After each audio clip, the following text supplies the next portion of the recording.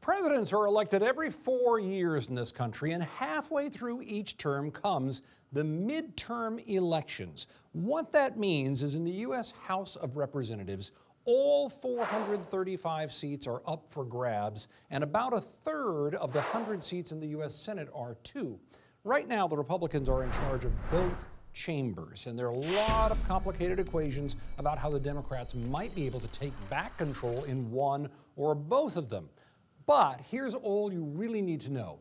On the House side, if the Democrats can flip 23 seats in their favor, they would take charge. And on the Senate side, if they could net two more seats, they would be in charge there too. But the Democrats are defending so many of their own on that side, the math seems pretty challenging.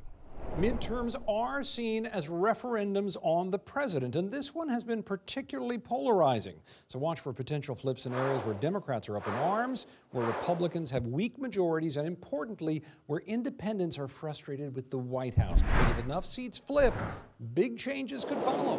Start with legislation on the House side. Republican hopes for new immigration laws or trade deals or welfare reform or Social Security reform or even new tax laws could all come to a stop dependent on Democratic support to get them going again.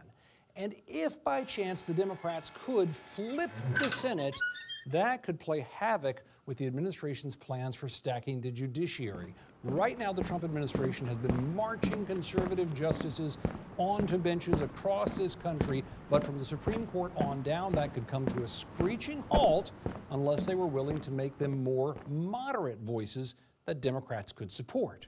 Of course, the president could have much bigger problems if the Democrats seize either chamber, they could reinvigorate all sorts of investigations into him and his cabinet, subpoenaing witnesses, compelling testimony into allegations of election meddling and of conflicts of interest and possible misuse of tax money, sexual improprieties, controversial policies, and so much more. They may not be able to prove anything, just like they might turn to the bigger question of impeachment and not be able to prove anything there or get a conviction. But they could make it very humiliating and time consuming for the president.